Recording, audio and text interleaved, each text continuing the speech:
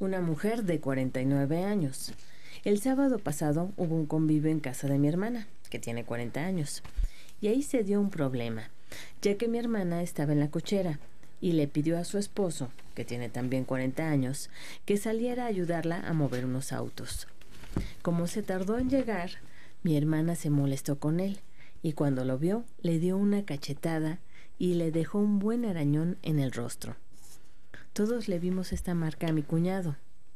Después de esto, él se fue de la casa. El problema es que mi hermana tiene casi dos años con cáncer de mama.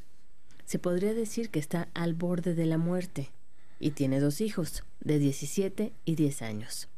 Ella está muy triste y mi cuñado también, pero ninguno quiere ceder. ¿Cómo podría ayudar a que se reconcilien, ya que todos están muy mal? Bueno, en principio yo le sugeriría que no piense que su hermana está en el último momento de su vida, porque afortunadamente hay tratamientos que apoyan mucho a las mujeres que tienen este padecimiento, empezando por ahí. Y en segunda, ¿por qué no los deja que ellos resuelvan sus diferencias? Creo que intervenir en esos casos muchas veces es más negativo que positivo, es lo que yo creo.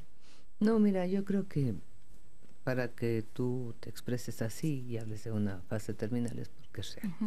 Es un factor de realidad que no puedes eh, contrarrestar con todo va a salir bien y va a vivir y va a vivir. No. Sí, eh, intervenir definitivamente porque la familia se va a resentir mucho. Yo hablaría con mi cuñado. En su lugar yo hablaría con mi cuñado y le diría, mira, entiendo que mi hermana se excedió, que no era la forma, pero pues te pido comprensión y paciencia y tolerancia. Tal vez a ti y a mi hermana les ha hecho falta la orientación de estos grupos de apoyo, como es Reto, entre otros, algún grupo de voluntarios. Hay lugares en donde pueden recibir este apoyo.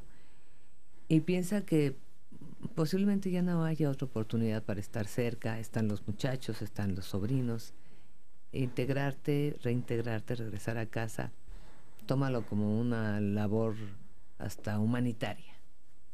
Entiendo que te, hayas molestado, que te dolió, que te exhibió, pero cuando las personas saben que existe ya esta guillotina que en cualquier momento puede llegar, su estado anímico se dispara.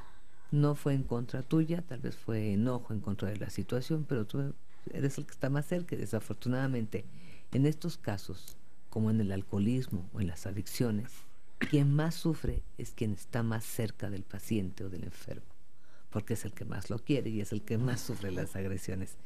Con mi hermana no, yo creo que su hermana no está para sermones, pero con el cuñado sí, su cuñado puede tener ese, ese lugarcito para ser un poquito sensible y decirle, bueno, pues, su estado anímico es de impotencia.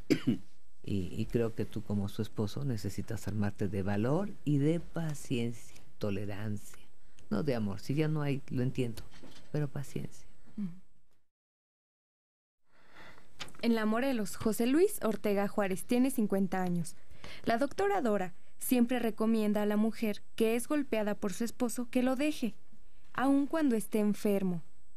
¿Por qué ahorita recomienda que el hombre le tenga comprensión, comprensión y paciencia? ¿Nada más el hombre debe perdonar? Pues mire, no creo que sea así. Y no a todas les recomiendo que dejen al hombre, y mucho menos en una fase terminal. Ah, ah. Me conozco muy bien, no es. No es mi estilo. Un borrachín, sí. Ah, sí, cómo no. Y golpeador y irresponsable, claro que sí. Pero entre mi repertorio no recuerdo un hombre en fase terminal que llega golpeando a la mujer y que le diga yo, déjelo. No, no, no, no. La señora tiene cáncer de mama. La hermana refiere que está en fase terminal. Y, y es el padre de los muchachos. Por eso, señor. Tendría que ser tal vez usted mujer para entenderlo.